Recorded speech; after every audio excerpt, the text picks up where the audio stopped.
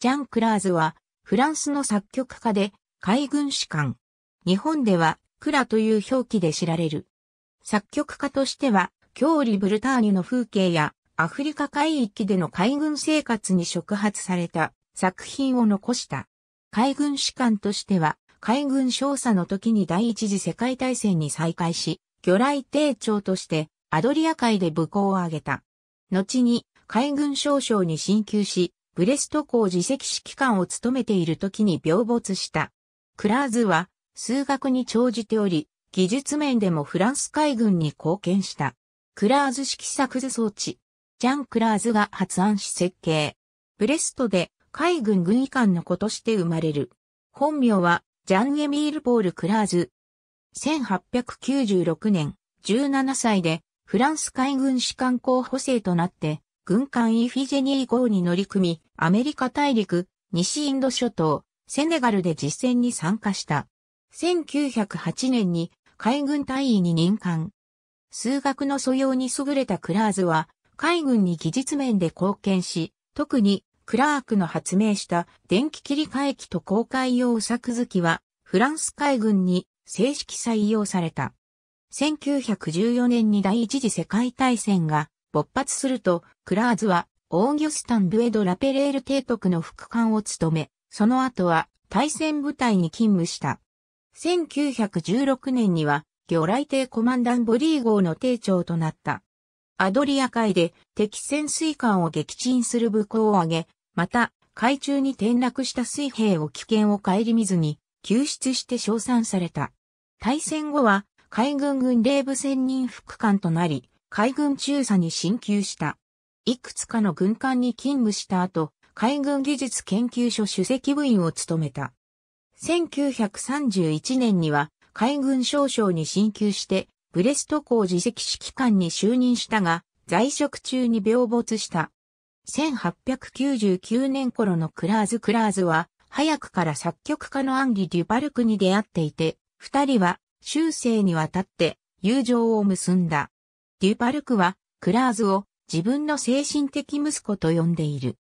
フランス海軍における職務のために音楽に避ける時間はほとんどなかったものの、クラーズは生涯にわたって作曲を続け、主に室内楽と歌曲を手掛けた。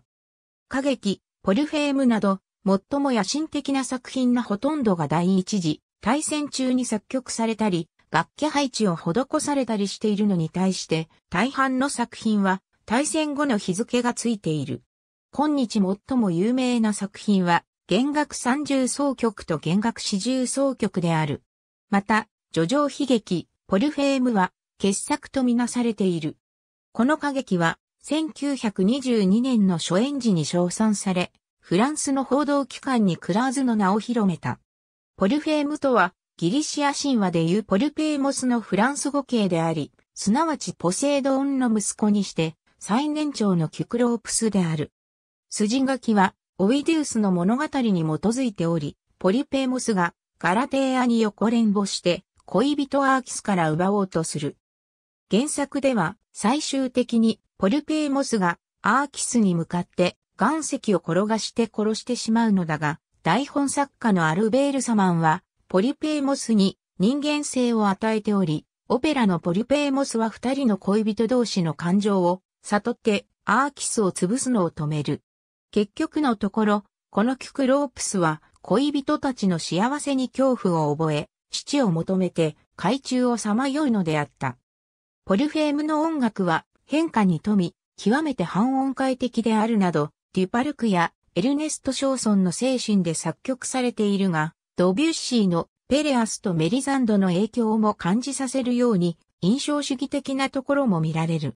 後年の作品は形式的にはセザール・フランクに近いもののバルトークにもひしうるトゲトゲしい様式を発展させた。クラーズは室内楽を自分の武器とみなしてこの洗練された音楽形式が自分にとって最も欠かせないものになってきたと記している。とりわけ弦楽三重奏曲は幅広い様式を統合しており、北アフリカの影響も見られる。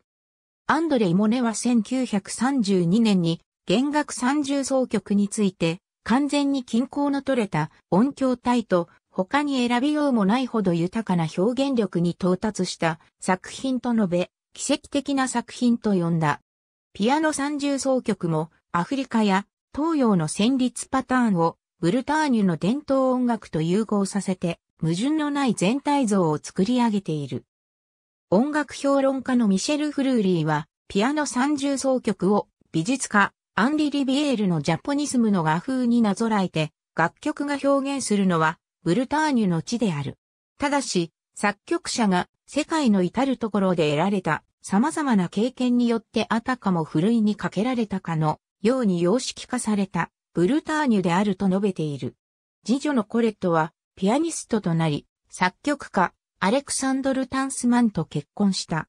夜の心地よさベネディクトゥス・ハバネラ思い出結び島で演奏例、前奏曲と不げった演奏例、水の流れに演奏例、瞑想、演奏例、朝の家、演奏例、他に海や海軍とゆかりのある作曲家に次のような人物がいる。いずれも海や異国趣味を題材とした作品を残している。ありがとうございます。